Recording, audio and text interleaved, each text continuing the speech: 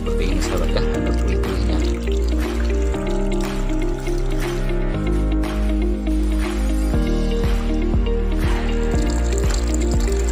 suburan tanah itu harus didukung dengan tiga hal sahabat ya.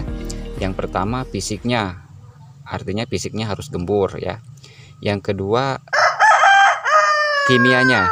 Kimiawinya itu yaitu adanya unsur NPK dan unsur mikro. Sudah ada di media tanam kita ya. Yang selanjutnya kaya akan mikroorganisme. Ketiga unsur ini penting ya yaitu sifat fisik kimia dan biologinya ya. Jadi sifat fisiknya tanahnya harus gembur ya. Terus sifat kimianya unsur hara terpenuhi seperti NPK dan unsur mikro. Kemudian dari sisi biologinya yaitu supaya tanahnya ini kaya akan mikroorganisme. Dan itulah sebabnya kita melakukan pemupukan ini ditambahkan dengan pupuk organik. Yang digaung-gaungkan sama kita tuh pupuk organik. Dan alhamdulillah didukung juga sama pemerintah sahabat ya. Pemerintah juga mendukung kepada para petani yang suka dengan menggunakan pupuk organik sahabat ya. Dari situlah kita perlu mengaplikasikan pupuk dasar sebelum melakukan penanaman. Baik itu lahan baru ataupun lahan janda seperti ini sahabat ya. Seperti yang admin bilang kemarin ya hari ini kita akan melakukan pemupukan ya melanjutkan pengocoran pupuk dasar pada media tanam lahan janda sahabat ya. Nah ini pupuk yang kita buat kemarin sahabat ya kita akan buka pada hari ini setelah 24 jam proses fermentasi sahabat ya kita akan lihat bersama-sama. Ternyata benar sahabat ya. Mikrobanya berkembang dalam 24 jam. Bisa kita lihat di sini ada buih di permukaannya. Gelembung-gelembung seperti ini. Ini waktu itu kita tambah dengan NPK 16 sahabat ya. Tapi cairan jakaba dicampur NPK 16 justru berbuih seperti ini sahabat. Ini artinya mikrobanya aktif sahabat ya. Nah sahabat tani sekarang ini NPK 16 yang dicampur dengan air jakaba kita akan kocorkan hari ini sahabat ya. Nah sahabat tani admin mengingatkan kembali untuk pupuk dasar. Ini sebelumnya sudah kita kocor menggunakan kalsium ya untuk yang paling awal ya kalsium. Kemudian kita kocor dengan nitrobakter. Dan hari ini kita akan kocor dengan air jakaba yang dicampur dengan NPK 16 setengah kilogram sahabat ya. Dan pencerahan ini sangat penting diketahui oleh petani sahabat ya. Dan bagi para petani yang sudah master juga tidak ada salahnya menyimak untuk pupuk dasar pada pertanian di Maman ADJ Channel. Karena kita bisa ambil hikmahnya kita bisa ambil pelajaran walaupun kita sering menanam sahabat ya. Ketika kita mengaplikasikan pupuk dasar anu misalkan hasilnya seperti apa kan nanti kita bisa ada referensi buat kita tersendiri sahabat ya. Nah misalkan ketika kita hanya menggunakan SP36 misalnya pupuk dasarnya seperti apa hasilnya kan begitu. Nah ini kan kita tahap demi tahap kita kasih edukasinya ke teman-teman. Yang pertama tadi kapur yang kedua nitrobakter ya sudah kita aplikasikan. Dan yang ketiga kita akan menggunakan pupuk yaitu jakaba yang dicampur dengan NPK 16 sedikit. Kemudian untuk agen hayatinya kita akan tambahkan dengan ini. Gliocladium sp ini juga bisa diganti dengan trichoderma sahabat ya. Atau dua-duanya juga boleh sahabat ya. Nah admin untuk tahapan yang ketiganya ini setelah tiga hari lalu kita kocor menggunakan nitro hari ini kita akan tambah lagi dengan air jakaba dan juga ini Gliocladium sp kemudian kita juga akan menggunakan ini juga ya. Trichoderma cair sahabat ya. Udah lama juga di sini. Kemudian kita akan juga tambahkan dengan itu. Itu adalah mol nasi basi sahabat ya. Kemudian kita juga akan masukkan ini asam amino sahabat ya. Setelah asam amino kita juga akan tambahkan dengan ini asam humat sahabat ya. Nah ini asam humat buatan juga sahabat ya. Ini kita tambahkan ini karena di sini ada batuan pilitnya. Ini sebagai pembenah tanah ini mewakili asam humat. Karena ini selain batu pilit ini juga ada tanah hutannya sahabat ya.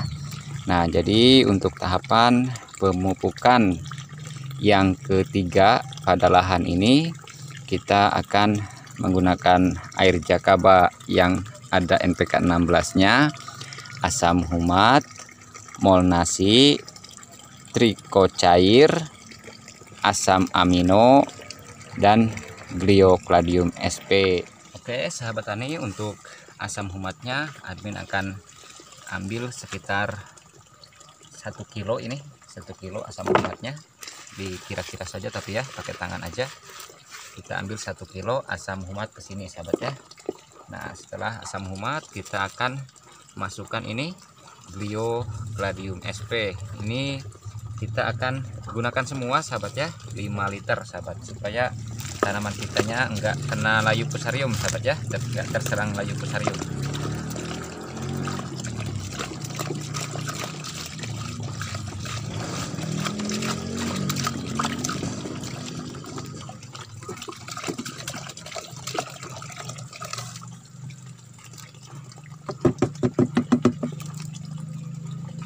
Nah selanjutnya kita akan masukkan ini trichoderma sahabat ya.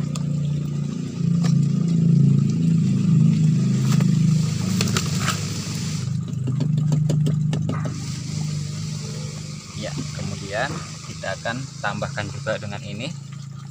Ini mol nasi basi. Kita juga akan gunakan semua sahabat. Ini sekitar 1,2 liter sahabat ya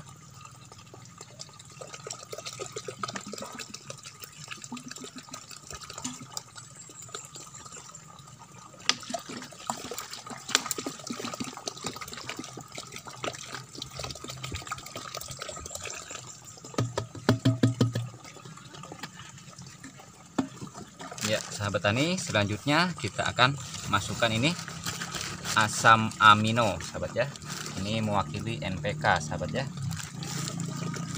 Juga penyubur tanah sahabat. Dan penyubur tanaman juga tentunya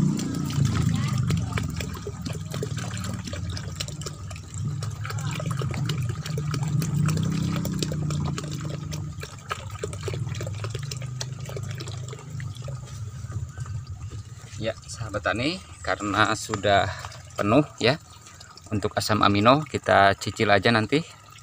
Ini sudah penuh kita aduk dulu sahabat. Ya barangkali teman-teman ada yang pengen melihat dari dekat. Posisinya seperti ini sahabat kondisinya. Berbusa berbuih. Ini ciri-ciri mikroba yang ketika dicampur dari yang pH tinggi dengan pH rendah dicampur. Jadinya seperti ini ada buih seperti ini. Nah seperti ini sahabat. Ini udah JMS super sahabat ya. Kalau melihat JMS itu seperti ini sahabat ya. Ciri-ciri JMS aktif sahabat. Nah seperti ini sahabat ya. Ada buih-buihnya. Nah sahabat tani untuk admin biasanya pakai pupuk dasar. Ini pupuk dasar ya. Ini dosis untuk pupuk dasar. Kita ambil dari sini setengah gayung ya. Nah segini sahabat. Kita masukkan ke ember 10 liter ya. Nah untuk yang ini kita ambil setengah gayung sahabat ya. Nah segini. Kemudian kita campur di sini sahabat ya. Nah, kemudian kita ambil air 10 liter ya. Nah kita isi embernya dengan air 10 liter sahabat. Oke sahabat tani setelah kita isi air kita tinggal siramkan sahabat ya. Kalau admin sih nggak pakai ukuran kalau untuk menyiramnya ya sekitar satu gelas per lubang tanam ya. Tapi kita biasa pakai gayung aja asal kesiram aja. Pokoknya sekitar 200 ml aja per lubang tanam sahabat ya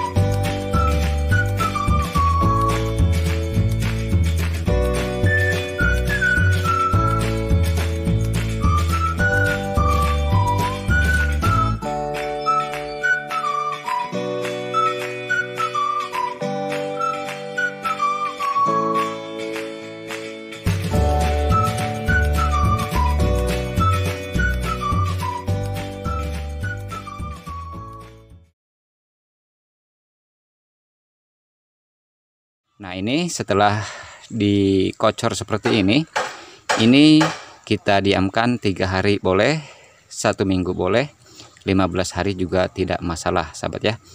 Tapi yang paling bagus itu standarnya sih satu minggu setelah dikocor seperti ini, ini sudah bisa ditanami sahabat ya.